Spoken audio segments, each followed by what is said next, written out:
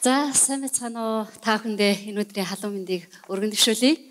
Мөн Дархан хотод маань морилон саасан танд энэ өдрийн халуун мэндийг нийт дарханчуудынхаа нийт үзэгчдийнхээ өмнөөс танд өргөн төвшүүлж байна хүлээн авна уу.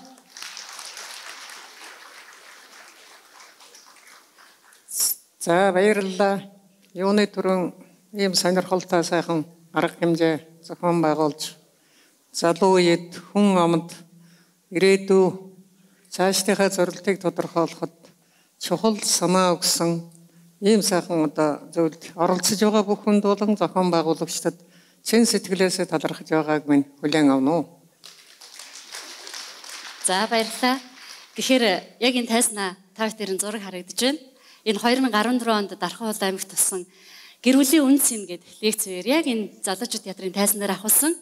За мөн 2019 оны 100 Монголын эмэгтэйчүүд холбооны зуны сургалтаа илүү өөр бас хүн тантай таарч зураг авахулсан юм аа. Өнөөдөр ингээ 3 дахь удаага TEDx дархны тайзнаа мөн энэ хүрэлцэн ирсэн зочдтой гэр бүлийн үнцэн гэр бүлийн сайн сайхны төлөө ярилцахаар ингээ сууж байгаадаа хөтлөгч миний хувьд маш их баяртай байна. За баярлалаа. Мэдээж TEDx дархан маань үйл ажиллагаа маань хүмүүст үнцэнтэй санаа түгээх зорилготой. Тэгэхээр би энэ энд ирсэн бүх хүний хувьд үн цэнтэй зүйлийн талаар тантай ярилцъя гэж бодож байгаамаа. Монгол гэр бүл бол маш сайн дархлаатай гэж ярьдаг. Мөн Монгол гэр бүлийн энэхүү дархлаа нь энэ дархлааны үндсийн үндэс нь Монголын нүүдэлчин соёл уламжлалтай салшгүй холбоотой гэдэг онолыг та дэвшүүлж ярьдаг. Та дэвшүүлж гаргаж ирсэн хүн. Тийм учраас би яг энэ зүйлээр өнөөдрийнхөө ярилцлагыг эхлэе. За баярлалаа. Тэгэхээр бидэнд гэр бүлгээд ярихаар хувь хүний асуудал юм шиг ойлгогддог. Ийм зүйл их вэ л дээ. А яг нарийн ярил альва улс үндэсний оршин тогтнох бичил орчин бол гэр бүл энд альва улсын хөгжил эдийн засаг тухайн улсын дараачийн галголомтыг тээж явах, өртөөлж явах залуу үе мэндэлж хүний төлөвшил болдог ийм гол орчин юм. Өнөөдөр дэлхийн нийт ч гэсэн нийгмийн аливаа арга хэмжээг гэр бүл төвлөрүүлж явуулах шинжил ухааны болон практикийн ажилд ороод олон 10 жилийг ардаа үдэж байна. Монгол үндэстэн оршин тогтнож ирсэн мандан бадарч явсан буурн доройтод задарч явсан энэ бүхэл үед Монгол гэр бүл энэ үндэсний удам судрыг хадгалж Өнөөдрийн 21 дугаар зуунтай золгуулсан гэдгийг манай залуу үе бүхэн энийг ухаарах ёстой гэж галгууламт үндэсний хөдөлгөөн гэдэг энэ чухал төрийн бус байгууллагыг санаачлан найз нөхөд 40 орчим хүнтэй хамтран байгуулад 21 дахь жилдээ явж байгаа хүний хувьд би энэ одоо уулзалтанд энэ чухал арга хэмжээнд орж байгаа хүмүүст нэгдүгээр санал болгох хэлхийг хүсэж байна. За хоёрдугаарт Монгол гэр бүлд хамгийн том үн төзөөл юу байсан бэ гэхээр нөхрийн нэрээр ороод эхнэрийн нэрээр гардаа гэсэн ийм том гүн ухаан хэрэгжилж ирсэн. Энэ нь юутай холбоотой вэ гэвэл гэрийн доторх шийдвэрийн бараг 80%-ийг гэргийнэр гаргадаг. Уран бүрийн ухаантай гэж бид нар өсгөөчүүдөө ингэ сайхан нэрлж ирсэн. За Монгол төрийн гэр бүлд үеийн үед тусалж ирсэн нэг том юм бол хаан ухан хатан ухан хоёулангийн төрийн хэрэгт болон гэрийн хэрэгт хэрэгжилж ирсэн ийм түүхэн уламжилтай ард түмэн юм. Манжийн төрөөс Чингис хааны төрийн дэргэд нүүдэлчний төр яагаад ийм хүчрэхэг байгаа юм бэ гэдгийг судлуулахаар 5 жил туршуул ажиллуулсан. Энэ хүн очиод хаандаа илтгэхдээ нүүдэлчний төр хүчрэхэг байгаагийн нэг учир бол хаан ухаан хатан ухаан хоёулангийн төрийн бөгөөд гэрийн хэрэгт хэрэгэлдэг юм байна. Ийм учраас нүүдэлчний төр хүчрэхэг байгаа юм байна гэж. Энэ төрийг хүчгүүдүүлээ гэвэл хүүн ээжийг нь сонсхон болиулаад нөхөр нь гэргийтэйг нь зөвлөхийг болиулсан тэр цагт нүүдэлчний төрийг хүчгүүдүүлж болно гэж зөвлөж байсан мянган мянган жилийн өмнөх түүхэн уламжлал өнөөдөр ч гэсэнгд мартахгүйгээр Монгол гэр бүлийн хөгжилд хүний амьдралын цаг хугацааны 3-2 нь өнгөрдөг энэ бичил орчин дэмжиж хөгжүүлэхэд төрийнч бодлого, гэрийнч бодлого, иргэн бүрийн бодлого чиглэх ёстой шүү гэдгийг би энэ зарууд тэмдэглэж хэлхийг хүсэж байна нэгдүгээр.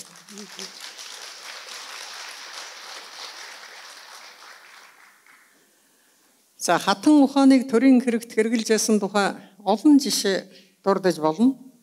Их хаад өөд болоод дараачийн их хурлдаа хордотл хааныг томилтол хатад төр барьжсэн түүхэн уламжил Монголд бий. Жишээлбэл одоо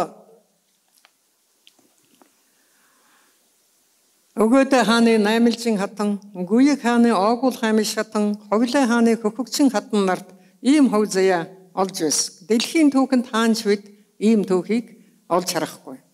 Тэгэхээр энэ юуг харуулж байна вэ гэхээр Монгол үндэсний оршин тогтнож энэ их гавья энэ их түүхэн уламжлалыг бүтээж ирэхэд Монгол гэрвэл эрэгтэй эмэгтэй хоёр хүний оролцоог төрийн бодлогонд гэрийн бодлогонд хамт хэрэгжилжсэн энэ их түүхэн уламжлал нэг суурь болж байсан юм шүү гэдгийг бид маш ухаарч өнөөдөр ч гэсэн энэ соёлоо бид хадгалж явах ёстой гэдгийг биэнд хэлхийг хүсэж байна. Харамсалтай нь бид гэр бүлийн асуудал 20 жил ажиллаж байгаа байгууллагын хувьд өнөөдөр Монголын 10 гэр бүл дутмын нэгийг эмэгтэй хүн тэргүүлж олон 10 10 гэр бүл дутмын нэг аль нэгэн гадаадад явсан эзгүй гишүүний орон зай үлдэж Монголын эрчүүдийн 40 орчим хөв хөдөлгөөн түн амд хамрагдаж байгаа нь өнөөдрийн Монголын гэр бүлийн хөгжил үр хөвгтийн минь одоо хүн бол төлөвшөхөд тодорхой хэмжээгээр сөрөг нөлөө үзүүлж байна гэдгийг энд хэлэх ёстой гэж бодож байна. Энд Монгол хүн бүр бодож бид энэ соёлыг даяаршиж байгаа дэлхийн ертөнцид яаж зохицуулж авч явах вэ гэдгийг эрхвш бодох цаг болсон байна.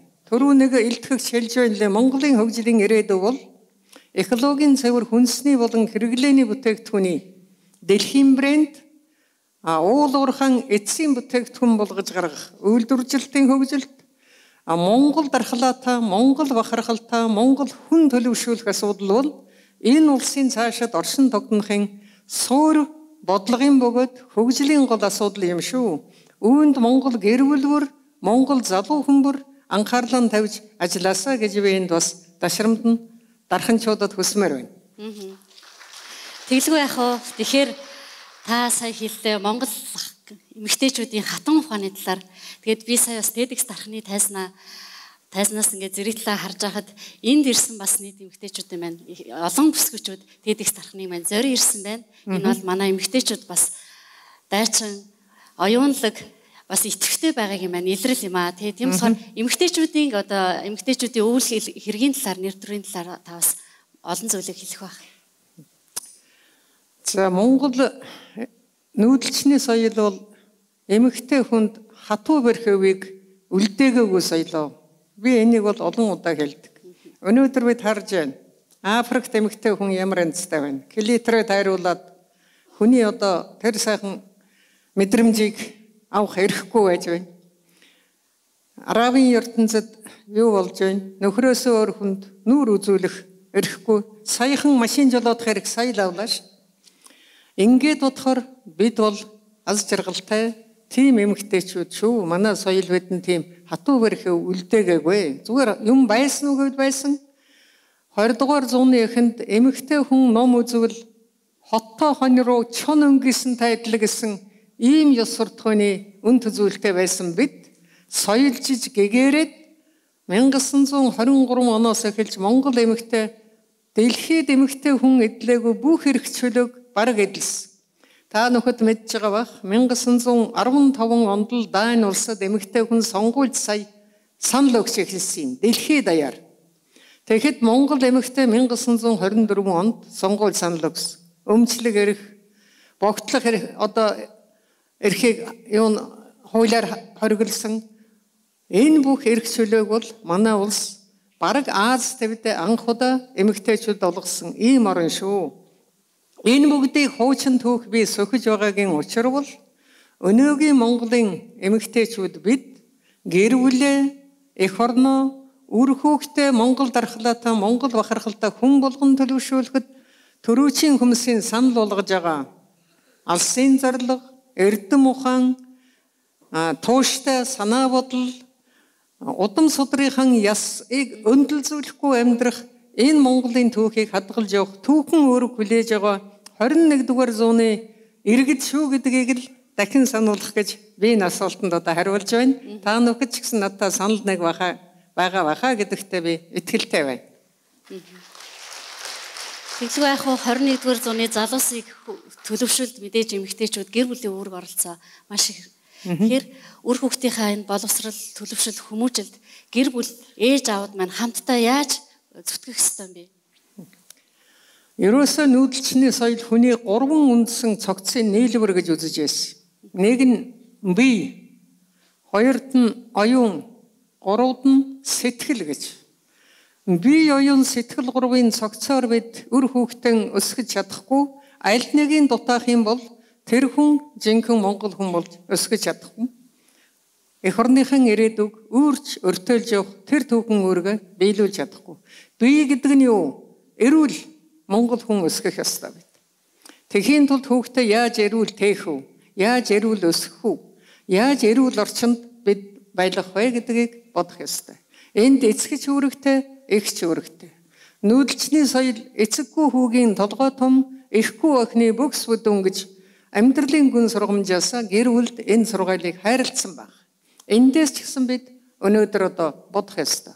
Оюун гэдэг юу юм? Ур чадвар, мэдлэг эзэмших асуудлыг нүүдэлчний соёл хамгийн гол зүйл гэж хэлсэн. Эв түмэнлэн эрдэм мянганлан гэж а гарч нь хөдлөвл амч нь хөдлөнө. Адууныхан хэрээр эсгэрж хүнжлийнхэн хэрээр жийж бай гэсэн ийм гүн ухааныг мянган мянган жилийн нүүдэлчний соёл өнөөгийн гэр бүл энэ сургаал ач холбогдлон алдаагүй байгаа гэдгийг би зориуд тэмдэглэж хэлхийг хүсэж байна. Гурав дахь зүйл нь сэтгэл.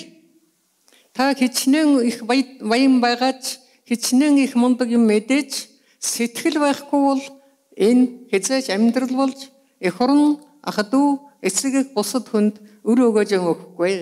Тийм учраас Монгол хүний хүний хэрэгүтвэл өөрийн хэрэгүтэн гэдэг энэ эрхэм сургаал айл хүний амь нэг саахалт хүний санаа нэг цугж явсан бараас цуглд шуусан шаазгаа хүчтэй гэсэн энэ гүн ухаанууд өнөөдрийн гэр бүлд бид үр хүүхдээ иргэн болгон төлөвшүүлэх гүн ухааны суур байх ёстой гэдгийг би энэ зориуд бас тэмдэглэж хэлье гэж бодож байна.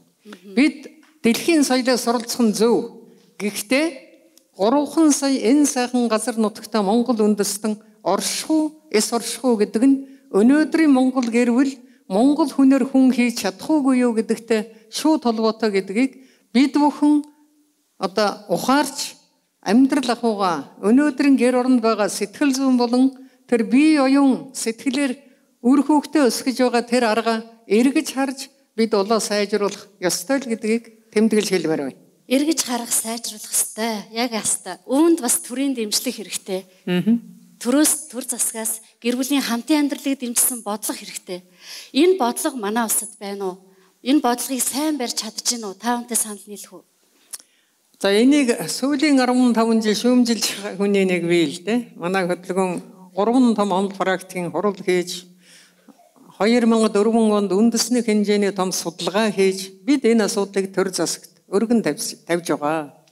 Яагаад тэгэхээр бид хичнээн мянган залуучуудаа өнөөдөр мөнгө олж иргээд гадагшаа явуулж байна.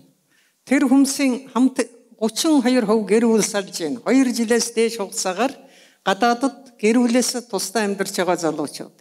Тийм учраас Монголын 10 гэр бүл дутмын нэгийг эмэгтэй хүн толгойлж байгаа ийм хувь заяа биднийг тойрч байгаа. А хоёрдугаарт бид гадаадд хэл сурчвал бараг л одоо болж байгаа юм шиг ийм буруу ойлголт бас бидэнд байна. Өнөөдөр Япон улс 12 нас хүртэл гадаад хэл үзэхийг хориглож байна. Яагаад тэгэхээр эхлээд Япон хэлээ сурч Японоор сэтгэж байж Япон хүн болж байж гадаадын соёлд очих ёстой гэж ингэж үзэж байна. Бид ч гэсэн 3 сая хүнтэй энэ сайхан газар нутаг мянган мянган жилийн өвөг дээдсийн уламжилж ирсэн энэ зүйлийг дараа үедээ хүлээлгэж өгөхийн тулд энэ эрхэм сургаалыг өнөөдөр тодорхой хэмжээгээр баримталж явах ёстой гэдгийг би энд зориуд хэлмээр байна. Яг нарын ярил Монгол оршихээс оршихын тухай асуудал 21-р зууны эцэг их бид өр хүүхдээ Монгол дархлаатай Монгол бахархалтай хүн болгоод төлөвшүүлж чадах этгээс шууд шалтгаална. Энэ хичнээн мөнгөтэй байна хэдэн юу барьчих уу гэдгээс бараг үл хамаарах маш том нийгмийн ийм асуудлаа гэдгийг энд би зориуд одоо тэмдэглэж хэлж та нөхдийг оюун ухаандаа бас өчөөхөн ч гэсэн энэ асуудыг эргэцүүлж бодосоо гэж хүсэж байна. За. Гэр бүлээ дэмжсэн бодлого дээр би бас тодруулмаар байна. Бусад улс орнууд орнуудын жишээ бас энд үзэгчдэд хэлж өгнө үү? Та яг ямар жишээ байна? Тийм сайн туршлагыг би бас хуваалцмаар байна. За маш олон улс орон одоо энэ гэр бүл дэмжсэн хуультай. Одоо би маш олон хууль ярьж байна. Зөвхөн хамгийн сонирхолтой ганцхан хуулийн жишээ хоёр хуулийн жишээ татхад Солонгост бол гэр бүл салах юм бол хүүхдийн эцэгт нь өгдөг хуультай. Тэгэхээр ямар эцэг эхнэрээсээ салахад нялх хүүхдээ хөдлөөд явах уу? Ямар ээж салж байгаа нөхөртөө нялх хүүхдээ өгөөд явуулах уу? Энэ бол гэр бүл салахгүй гэсэн асар том төрийн бодлогын зангил асуудал. Хятад гэр бүл салвал хүүхдээ авсан хөрөнгөн үндсэн хөрөнгөний юуг авдаг ийм хуультай. Энэ дахиад ийм. Социализмын үед ямар хууль байгаагүй. Гэхдээ боловсон хүчний гурван үндсэн үзүүлэлтээр дүгндэг байсан. Нэгдүгээрт мэдлэг, хоёрдугаар туршлага, гуравдугаарт гэрүүлийн талаар тогтвортой байдал гэдэг гурван үнэлгээгээр үнэлдэг байсан. Зарим хүн намайг хуучирсан социализмаас сэргээлээ гэж бодож магадгүй. Үгүй энэ бол Монгол гэр бүлийг батвах байхын тулд төрөөс явуулж байсан бодлого.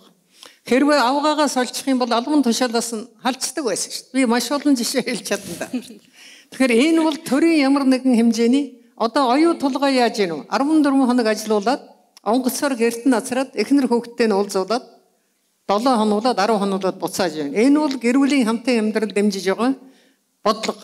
А гэтэл бид 4 сард хөөж гаргаад 10 сар хүртэл өр хүүхдтэй навгаа хүүхдтэй уулзуулахгүй ингээ явж шít. Тэгэхээр юу болж гин үү? Хэдэн мянган огтой бие үнэлэгч болгоод хичнээн мянган хоёр хэдэн мянган огтой гадаадад вэр болгож явуулчихад бид өнөөдөр сууж шít.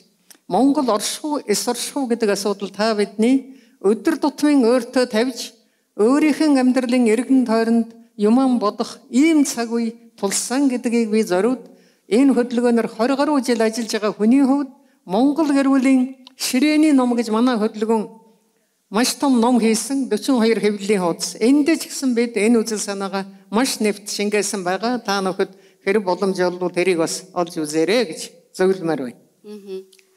Гэр бүлийн батвах амьдралд гэр бүлийн харилцаагаа авч үлдэхийн тулд залуу хосууд маань гэр бүлүүд маань яг юун дээр анхаарах хэрэгтэй гэдэм бэ?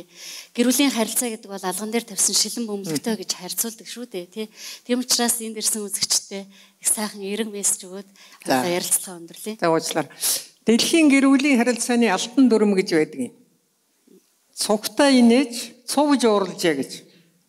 Зэрэг уурлах юм бол тэгээд гэр бүлийн харилцаа маш одоо хүнд байдалд ордог. Энэ бол гэр бүлийн харилцаанд орох нэгдүгээр алтан дүрм. Хоёрдугаарт Америкийн гэр бүл судлаач эрдэмтэн Дэле Карнегийн гэр бүлийн харилцаанд баримтлах долоон зарчим гэж байдаг. Нэгдүгээрт битгий шүүмжил. Битгий дахин хүмүүжүүлэх гэж оролд. Хоёр. А одоо зөвхөн толгойч ажиллахаа байлаа. А сайн талаас нь ханиа өргөлж магтаж. Чин сэтгэлээс хайрл. Чин сэтгэлээс хүндэл, үйлчил. А тэгээд бэлгийн амьдралын тухай мэдлэгэн дээшлүүлгэсэн ийм долоон үндсэн зарчмыг гэр бүлийн харилцаанд баримтлаж байхыг дэлхийн бүх гэр бүлүүдэд зөвлөсөн байдаг юм. Энийг ч гэсэн би та нарт дамжуулчих. Манай номон дээр маш тодорхой энийг тайлбарлсан байгаа.